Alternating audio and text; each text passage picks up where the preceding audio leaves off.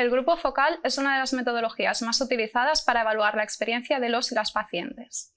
Como objetivos tiene, entre otros, promover el debate entre pacientes y compartir experiencias. Por lo tanto, el grupo focal es un espacio de debate abierto formado por dos moderadores que dinamizan el grupo y entre cuatro y ocho participantes que explican su experiencia.